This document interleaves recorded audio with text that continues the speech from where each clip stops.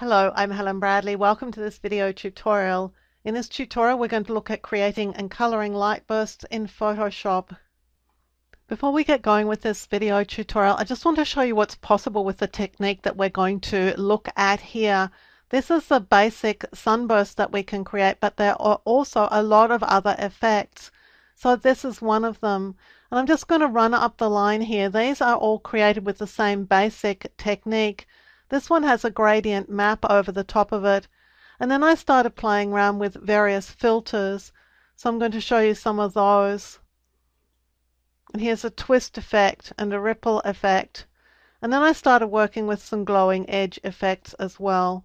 So all of these are created using the same basic technique and then we'll just add some additional bits and pieces to it to give us a sunburst or a light burst that has different appearances and different attributes to it. I'm just going to tuck this illustration away for now and let's go and create a brand new document with just file new. I'm just going to create a square document so I'm going to make mine about 1500 pixels by 1500 pixels in size. And just click OK. Now I'm going to also get rid of layer comps and let's go and get our layers palette by choosing window and then layers. I have black as my foreground color. I'm going to fill this layer with black so I'm going to press Alt and Backspace, Option Delete on the Mac. But at any stage, if you wanted to fill with the foreground color, you could also just click on the paint bucket tool and just tip the foreground paint color into that layer. Let's click here to create a brand new layer. And the effect that I'm going to show you is done or is created using a gradient. So let's go and get the gradient tool. And in the gradients, what we want is the black to white gradient. So this is foreground to background, and this is black to white. So either of them would be the same because we've got black and white selected as our colors here. So I'm just going to click on the gradient. I want this to be a linear gradient. I'm on a brand new empty layer, and I'm just going to drag to fill this layer with the gradient. I'm going to hold shift as I do that so that the gradient goes in a straight line. Here we are, white at the top and black at the bottom. Now this is a gradient fill, but it's not going to be perfect for my purposes, so I'm going to do it again. And I'm going to stop this time a little bit short of the bottom, because I want the bottom to be pure black. This is a better gradient for this effect. Now I'm going to choose Filter and then Distort and then Wave. And the first effect we're going to do is to create that sunburst, the very, very hard sunburst. So what I'm looking for here is a set of stripes. I'm going to click Sine as the type and I'm going to adjust these sliders until I get what I'm looking for. And what I want, as I said, is just a set of stripes here. So I've got thick stripes happening here, so I'm just going to start to vary the wavelength and see how that affects it. Well, if I create a smaller wavelength, I'm going to get more of these stripes, but I do want my minimum and my maximum to be practically the same. So if my minimum is 39, I'm going to set my maximum to 40. And the amplitude, well, I'm just setting that so that I'm getting stripes. And I'm going to leave my scale at 100%. So I'll just click OK. And now I have a set of stripes. And to make this into that sunburst, I'm going to choose Filter, Distort, Polar Coordinates. Now there are only two settings for polar coordinates and one is rectangular to polar and the other is polar to rectangular. And in short, one works and one doesn't. So just click on either of these until you get the one that looks like what it is that you're trying to achieve and click OK. And there we have the first of our sunbursts. Now I'm going to turn this off and let's go and create a brand new layer and let's see how we would create some of the ones that look a little bit more like light. Now these are all going to be done using the exact same technique. So again, I'm going to my gradient and again, I'm going to drop my gradient from the top nearly all the way down, hold the shift key to make sure it's straight. Then I'm going to choose filter and then distort and then wave. But this time I'm not looking for these stripes. I'm looking for something that is a little bit more organic. So I'm going to adjust wavelength so that it's different, so that the minimum and maximum are very different. You can see that we're starting to get these streaks of light. But what's worrying me is that these white bars where they reach the very bottom are going to run into the edges of the image. So I want to start changing things here so that I get more black along the bottom here. And so I'm just experimenting with things that will make the bottom of that box here a little bit more black.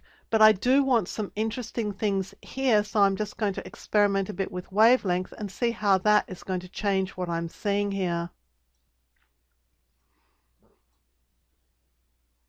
Now this is looking pretty good to me. I think I'm going to get quite an interesting effect here. Black towards the bottom, but some interesting variation here. So I'll click OK. And again, let's go and create our rotation. So again, filter, distort, polar coordinates. And click OK. And this is the effect that we've got here. Now if you're concerned about the white running into the edges, you can make an adjustment to this. I'm going to add a new layer on top of this and I'm going to Alt Backspace Option Delete to fill it with black. So if I now change the blend mode on this layer, let's see what happens. I'm just going to click dissolve and I'm going to run down the list by pressing the down arrow key on the PC. On the Mac you'll use Shift plus or Shift minus. Well, you can see color burn has had the effect of just highlighting the shape in here, but not the bit that is running into the edges. It's not exactly what we want, but it's on the way. So let's go and see if anything else will give us an effect that we're looking for. Many of these are doing nothing at all. Lighten is not helping us, neither is screen or color dodge, or lighter color. None of these are doing what we want. But overlay is. Overlay has masked out the very lightest areas so that this shape looks as if it's all inside our document and not running into the walls of it, if you like. Let's see if there's something else. Soft light is a little bit better. Hard light and vivid light, linear light and pin light are doing nothing. Now I've got to the end of the list, so I'm thinking that I'm going to get the most mileage probably in overlay or soft light. So I may want to choose one or other of these. Let's turn these off and let's go again, create a new layer and let's add another effect. Again, still with my gradient.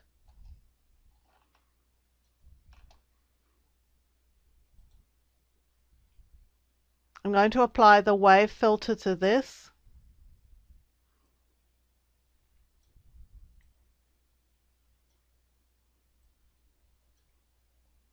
Now at this point I could experiment too with triangle or square. Either of those might give me interesting results. But you really will have to work at these wavelength and number of generators and amplitude to see what it is that you can get because there's quite a bit of variation with even quite small adjustments to these sliders. Experiment with a variety of effects where you have these minimum and maximums very close to each other or quite wide apart. So here I've achieved a fairly stylized look using triangle. I've set my number of generators. Here it's set to 28. Let's just put it back in that sort of region. 28, 40, something like that, quite a small value. My wavelengths are minimum 101, maximum 106, amplitude 20 and 56, and my scale is 100%, and I'm using triangle. Right now the number of generators is set to 36, so I'm just going to press OK. Now let's rotate this using our polar coordinates.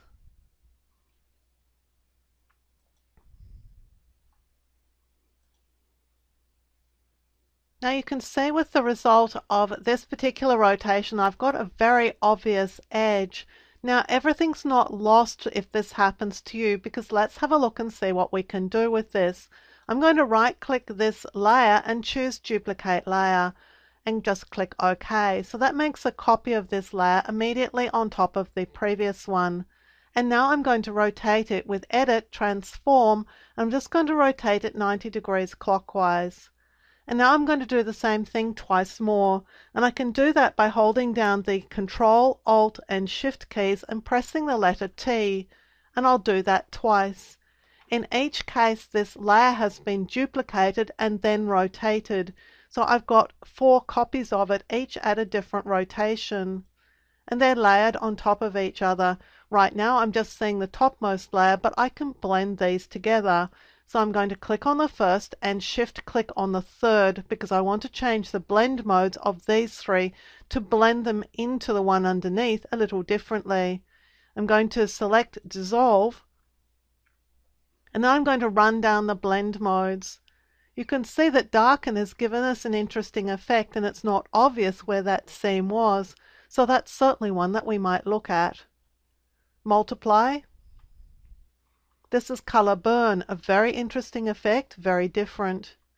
Linear burn, darker color, lighten, screen, color dodge, linear dodge, lighter color, overlay, soft light, hard light, vivid light, linear light, pin light, hard mix, Difference, that's a really interesting effect, the difference one.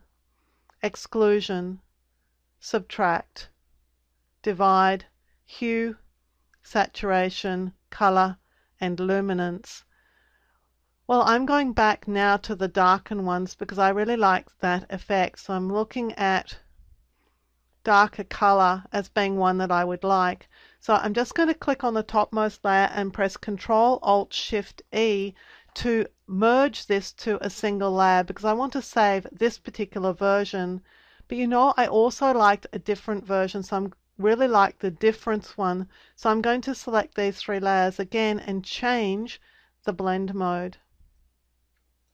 And I think, yes, it was difference that I really liked. So because I like that, I'm going to click on this layer again add a new layer this time and press Control Alt Shift E so I can save that to this layer. So what I've done is taken a less than satisfactory starburst, copied it three times and rotated it each time 90 degrees, and then blended these three topmost versions of it into the bottommost version. And I've done that in different ways. And I've looked for something that I really like and having found it, I flattened that to a single new layer by pressing Control, Alt, Shift, and E. Now, one of the things that I did in the examples that I showed you was I applied a gradient map to some of these effects. So I think this is one that I'd like to apply a gradient map to. With the layer selected, I'm going to choose Layer, New Adjustment Layer, Gradient Map, and click OK. Now there are a lot of different gradient maps that are shipped with Photoshop and in earlier versions they were pretty colorful but in the most recent versions of Photoshop there's some photographic options. You get to them by clicking here and choose photographic toning and these are the photographic tones and when I click on these they're immediately applied to the illustration or the starburst that I've created here. And the way that they're being applied is that these colors here are being applied to the lightest colors in the image and these colors here are being applied to the darkest colors in the image. But these can be edited. So for example, you could take one of these lighter colors and move it a bit further across and take one of the darker ones and invert it. So you're actually coming to a sort of inverted effect in the middle of this image. So you can either apply a gradient that you've got here or start fiddling with the gradient to get different effects with it. So I'm just going to click OK and close this down. But I encourage you to have a look at things that you can do, particularly with this gradient map adjustment layer. With this one here, again, we could apply a gradient map adjustment layer to it, but it's also possible to apply a filter to it. So right now I'm going to convert it for smart filters because that's going to make it just a little bit easier for me to apply and change filters with it. So I'm going to click on the layer and choose filter and I'm going for the filter gallery. So I'm just going to get rid of some of the effects that I've already got here, just delete this one. And this is what the photocopy filter would give us well, you'll also find that glowing edges gives some interesting results. Let's increase the edge width and look at edge brightness and perhaps also smoothness. Now you can probably see that this is very similar to an effect that I showed you earlier which was done using glowing edges. Let's just click OK on that. And again, we could apply a gradient map to this. Let's do layer, new adjustment layer, gradient map.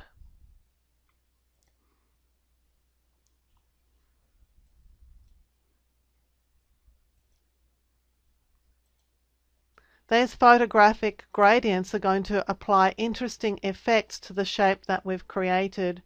So you could use any of these to recolor your artwork. I'll just close that down for now. Let's go and turn this off. Let's go back to our filters. Now in addition to the filters that are available through the filter gallery, there are also filters that are available from the filter menu. I'll choose filter and then distort and let's have a look at twirl. Twirl is a filter that will twirl the shape around and the larger the amount, the more the twirl effect we're going to get. I'll click OK. And this is the twirl effect that you can achieve. And again, if we apply the gradient map to it, we can get some interesting colored effects.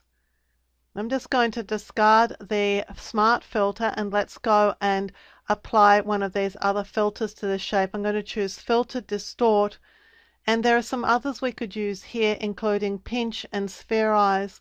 Let's go and see what spherize is going to do. Well this is going to blow the middle out of the shape so let's just click OK and you can see that it's had an effect but perhaps nothing that we would particularly want. Let's just undo it and let's see what pinch will do. Again, filter, distort, pinch. This is going to pucker the insides of the shape, so let's just go for a fairly large pinch amount and see what that does. Well, it's just really bringing the insides in and just giving us a little bit more definition in the darks and lights in the starburst. So you may or may not be interested in that effect. Let's go back for one more trip to the filter dialog, again into distort, and let's have a look at glass.